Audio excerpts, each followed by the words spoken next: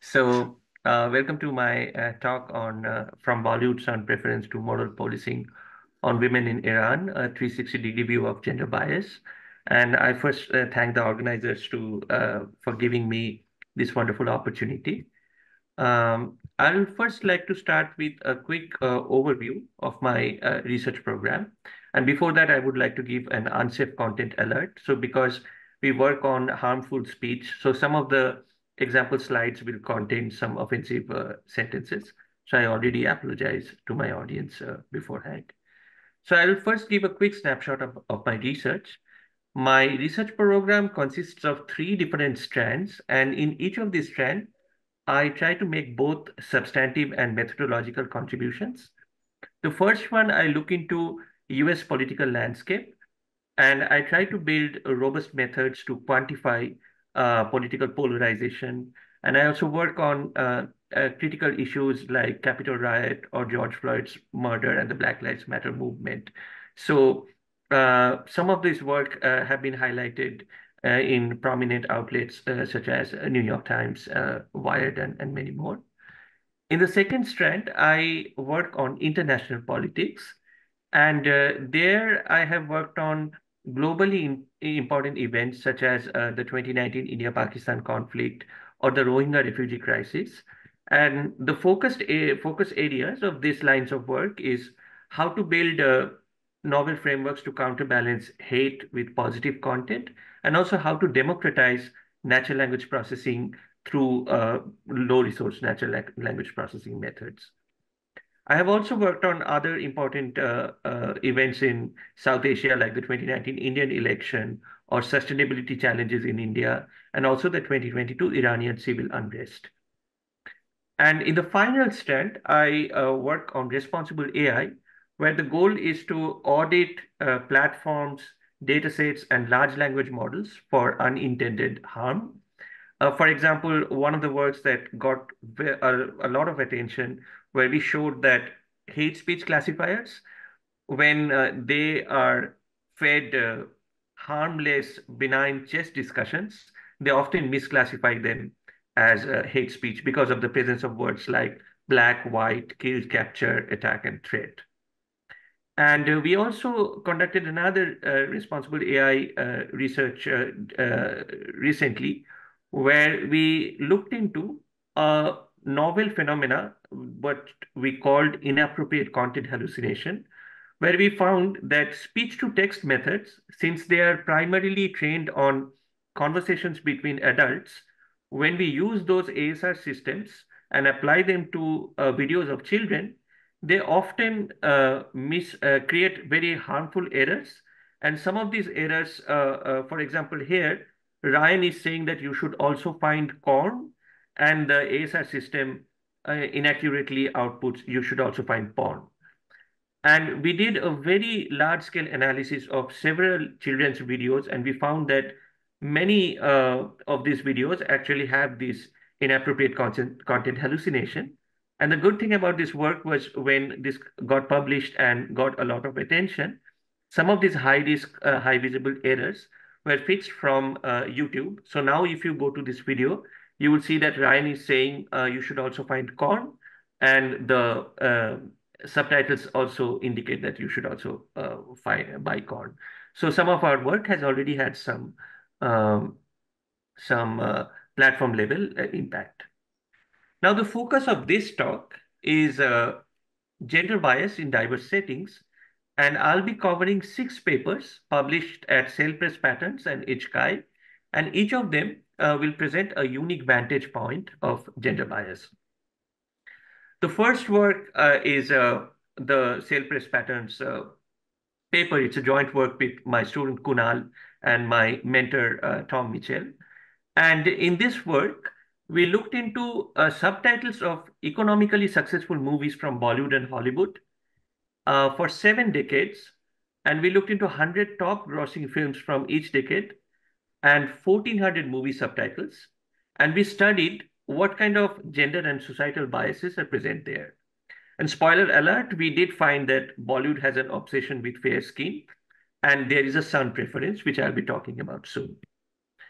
So we looked into many subtle bias signals. For example, we tracked how dowry, a retrograde social practice, or where uh, the groom's family demands uh, financial assets from the bride's family during the wedding, uh, how dowry is portrayed in Bollywood movies for the last 70 years, and how son preference when there is a, a newborn baby. How often the family wants that baby to be a son as opposed to daughter, uh, which has been uh, documented in extensively in social science literature, how son preference mani manifests in Bollywood movies.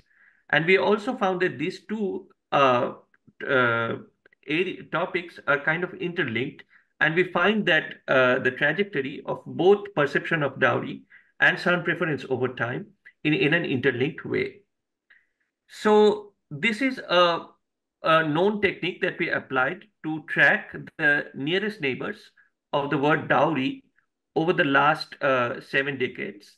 And we found that between 1950s to 1960s, the nearest neighbors of the word dowry is like money, loan, debt, jewelry, indicating compliance. Whereas in 1970, we start seeing the word like consent, responsibility, those kind of words are appearing as nearest neighbors. And finally, in uh, 2000, post 2000, we see uh, words like indicating non-compliance, like div divorce, guts, those kind of words are coming up. So we can see that the perception of dowry slowly became from move from move from compliance to non-compliance. And similarly, we tracked phrases such as congratulations or it's a boy, it's a girl, and and we wanted to uh, estimate whenever there is a baby born inside a Bollywood movie, how often there is a baby boy or how often there is a baby girl. And we uh, coined a term, male birth ratio, which is, which is basically the number of boys, uh, Bollywood baby boys, divided by the number of Bollywood baby boys and girls. You can see that uh, between 50s to 60s, this ratio was extremely skewed. In fact, up to 2000, almost 70% of 75% of the newborn babies inside Bollywood movies, they're baby boys. Whereas after 2000, we see that the ratio has improved significantly. So the key takeaways from this work is the male birth ratio improved over time inside Bollywood movies, and the response towards dowry also became negative over time. We also looked into uh, large language models and we conducted cloze tests, which is basically a fill in the blank test where uh, you just say, say, theory of general relativity was proposed by blank, and uh, uh the large language model will rank uh, possible completions uh, with probability. So we did this cloze test on these Bollywood movies, and we fine-tuned large language models from uh, 1950s to 1970s, we denote them as old movies. And 2000 to 2020, we denote them as new movies. And we fine-tuned them and we did the cloze test. A beautiful woman should have blank skin. And you see that no matter which era the Bollywood movies or the Hollywood movies are there, the top choice is always fair. Whereas the BERT base that is unfine-tuned, that is not that has not looked into any of these Bollywood or Hollywood movies, it gives a much better uh, uh, response. So uh, the key takeaway of this experiment was Bollywood movies still associate beauty with fair skin. And uh, we also uh, conducted word embedding association tests to see uh, what kind of occupational stereotypes are present in Bollywood and Hollywood movies. And here, the, a higher number means the movies are show more bias towards men. And you can see that the action movies uh, from Hollywood are, are the most biased. So basically from this work, the key takeaway is were son preference decreased over time, while perception of dowry started indicating non-compliance. We also saw that uh, association of beauty with fairness remained constant, and Hollywood popular action movies exhibited the most gender bias. Now, this is what happens in the movies. What happens in the real world? So we wanted to look into how gender inequality manifests in Indian divorces through the lens of divorce court proceedings. Now, divorce in India is a historically taboo topic, and survey studies have very sparse participation because of the social stigma attached to it. What we did, we did a comprehensive analysis through more than 70K, 17K divorce court proceedings gathered from indiankanoon.org, and we applied cutting edge natural language processing to understand what kind of gender inequalities or what kind of societal inequalities uh, can be gleaned from uh, divorce court proceedings in India. Now, in this paper, we are looking at the interplay between social inference tasks and model biases. And we ask a very important question. What if the AI or NLP tools we use for social inference tasks, what if these tools have inherent biases that interfere with or impact our social conclusions? So that's the main question that we ask in this paper. And we also conduct an extensive audit of gender bias in large language models and text entailment methods. And we also propose a novel inconsistency sampling method to mitigate gender bias. Now, uh, text entailment is basically, it tries to compute, you have a premise and a hypothesis. And if the premise logically uh, is consistent with the hypothesis, then it says uh, entailment. If the premise and hypothesis are inconsistent, then the output is contradiction. And if the premise and hypothesis are unrelated, then the output is unrelated. So in our work, in order to quantify gender gap, we use text entailment as a tool, and we compute the fraction of sentences in these divorce court proceedings that entail a man tortures a woman. And then we also compute the fraction of sentences that entail a woman tortures a man. And then we subtract the second value from the first value. So if we have a positive number, then it indicates that men torture women more often in the data set. And a negative number would indicate otherwise that it will indicate women torture men more often in the corpus. And we can extend this analysis to other unpleasant verbs, and that will give us an estimate of gender equal inequality. And we looked into uh, other uh, unpleasant verbs like abuse, assault, beat, burn, cheat, misbehave, and so on and so forth. Now coming to the question, what if the model is biased? Suppose our premise one is her husband used to harass and torture her every day. And our premise two is the counterfactual. His wife used to harass and torture him every day. Now, if the first premise entails the hypothesis a man tortures a woman, the second premise should entail the hypothesis a woman tortures a man. If that does not happen, then there is some inconsistency. And we observed that many premise or hypothesis pairs in, our, in, the, in the corpus exhibited this logical inconsistency, leading to erroneous social conclusion. And for this reason, we developed a novel inconsistency sampling technique to robustify the text entailment method. So what we did was at each step, we were uh, finding out which premise and hypothesis pair were exhibiting this kind of inconsistencies and then we created an active learning kind of framework when in it, where in each iteration, we were identifying the inconsistency, inconsistent samples, and then we were annotating them, retraining the models, and uh, improving the model's uh, bias behavior. So uh, in this table, the number is basically, uh, it, it quantifies how biased the model currently is, and a higher number means more bias. And you can see that as we are progressing with our active learning framework, at each iteration, the bias is reducing. Once we have a model that is more reliable, we use that uh, for our social conclusion, uh, social inference task.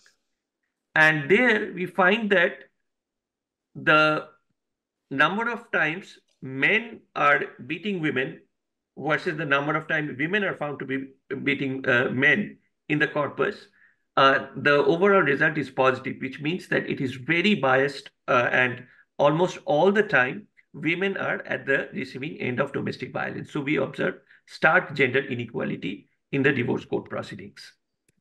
And the key takeaways from our work is this is the first comprehensive AI-powered analysis of gender inequality in divorce court proceedings in India. We found that women are largely at the receiving end of domestic violence. And we often uh, observed that dowry played a critical factor in those domestic violence. These are some of the nearest neighbors in a word embedding trained on the court proceedings. We also found that dowry and uh, the section 498A, which is the Indian Penal Code when someone reports domestic violence, we uh, looked at the different court cases that are uh, that mention dowry and the different court cases that mention IPC 498A. We saw that they are very correlated, and this is pretty much the map of the dowry and domestic violence reporting in India. So we also realized that we need to be aware of model biases and how such biases can influence social inference. Uh, we presented a novel inconsistency sampling for text entailment, but our bias audit had broader implications. Consider the following two masked sentences.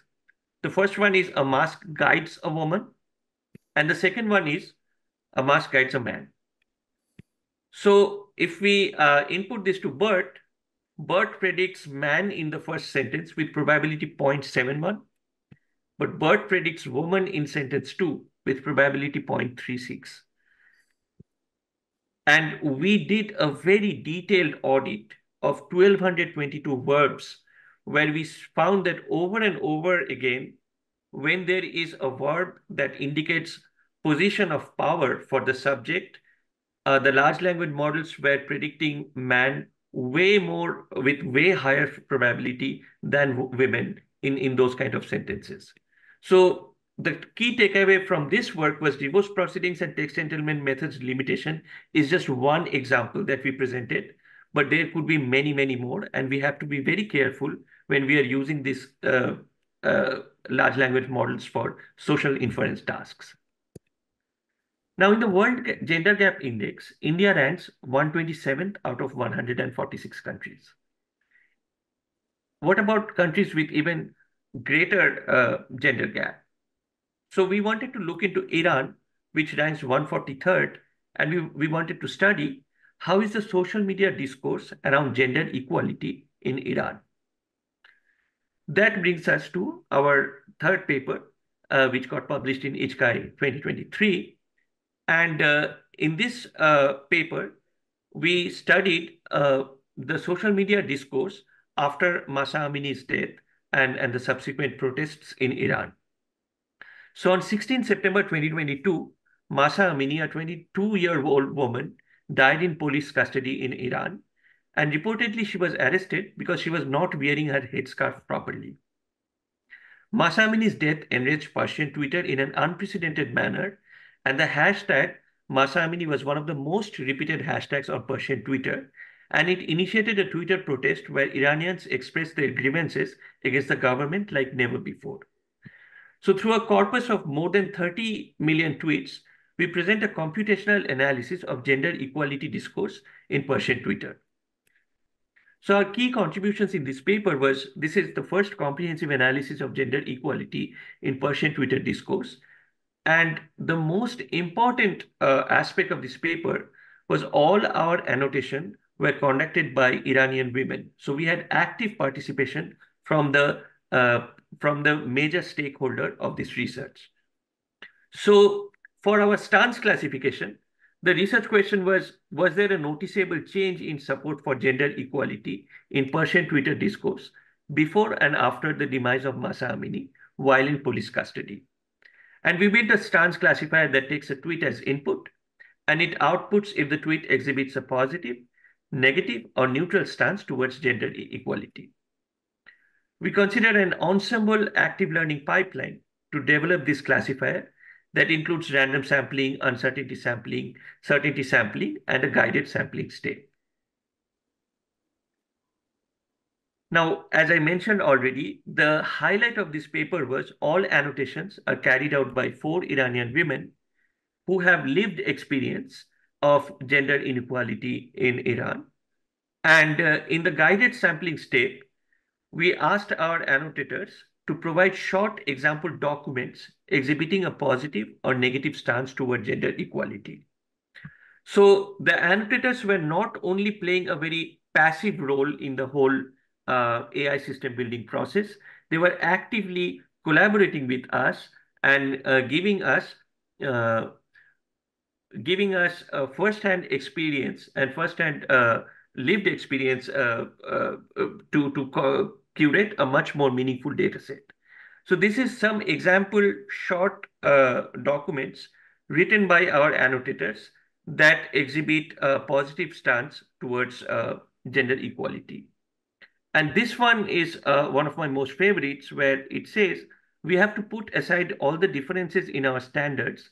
And if we consider a behavior appropriate for men, we should allow women as well and understand that there is no difference between a man and a woman who smoke or dance or laugh loud at a party.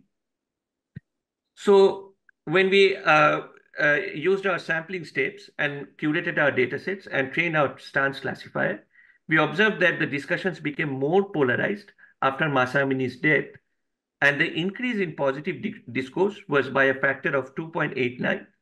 Uh, it is greater than the increase in negative discourse. So the primary takeaways for this work was that the grievances of the protesters against the current government mentioned a broad range of incidents spanning decades, with respect to account creation time between the state-aligned Twitter accounts and pro-protest Twitter accounts, pro-protest accounts are more similar to baseline Persian Twitter activity. And we observe a noticeable shift in positive stance toward gender equality after the protests on Persian Twitter discourse. This work also opens up a very interesting discussions around participatory AI. With the current Take AI race, the gap between AI haves and AI have-nots will only widen. So working with the vulnerable community in the AI building process can lead to more reliable and inclusive AI systems. In a more recent work that just got accepted at HCI 2024 this year, we looked into domestic violence in Iran, and we found that in the domestic violence uh, in Iran, uh, in our social media study, most of the cases, the perpetrators are men, whereas the victims mostly are women. Finally, in the World Gender Gap Index, India ranks 127th, Iran ranks 143rd, and US ranks 43rd. It actually slipped from 27th since the Roe v. Wade was overturned. So we were interested in seeing what kind of gender bias manifests in a, in a so-called first world country. So we looked into political uh, conversations and we tried to uh, quantify who interrupts whom and what is the nature of that interruption to study the conversation dynamics. And we found that uh, when we look into news transcripts from these major US cable news networks and considered extensive social science literature on interruptions, we observe that women get less speaking time than men, and women tend to interrupt men more often than men interrupt women, perhaps because they are not getting enough space to voice their views. This work was uh, uh, covered again by Daily Mail and many other major uh, news outlets. And it was also uh, mentioned in the Harper Index. Now, to sum up, we looked at gender gap through diverse lenses. Uh, we also consider diverse dataset sources like movie transcripts, news transcripts, court proceedings, and social web posts. Now, one thing is common in all of these sources is that they might be used to train a large language model.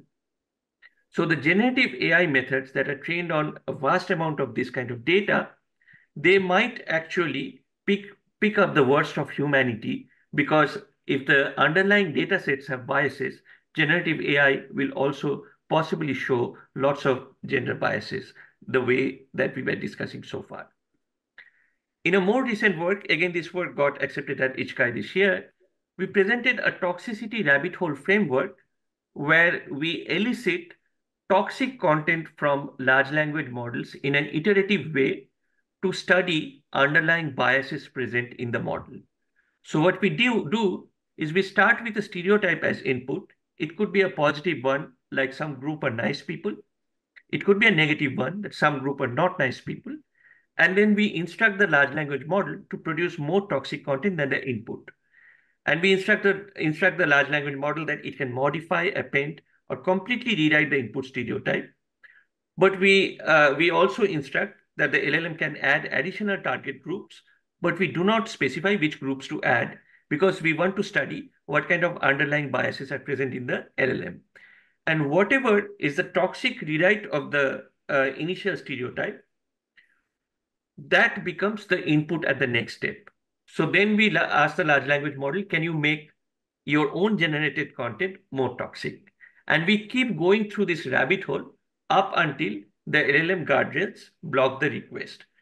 So that is the basic design of this work. And we found that with this very simple and deceptive framework, it can uncover horrific anti-Semitism, racism, misogyny, transphobia, ableism, Islamophobia in 10 large language models. These are some of the examples where it is saying highly misogynistic uh, toxic content. Uh, and, and these are very well-known large language models like PaLM 2 and Mistral. So the closing thoughts is multimodality will offer richness in analysis and it will give us a much better understanding of a lot of subtle and deeper gender biases present in our datasets. For instance, this uh, uh, from this uh, image, it is very clear that this image is talking about gender equality. A tweet may not contain a single word, but just post this image. If we have multimodal analysis of tweets or social media posts, our analysis of gender bias will be significantly stronger and, and richer.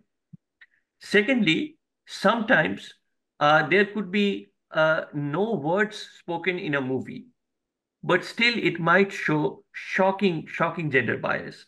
So this is a movie clip from a very popular movie that appeared after 2000, where we saw that Bollywood babies are becoming baby boys and baby girls with almost even ratio. Here, the main character starts daydreaming whenever he sees an attractive woman. I'll just play a 10 second clip. There is not a single dialogue, but you can see what I'm meaning here. Yeah.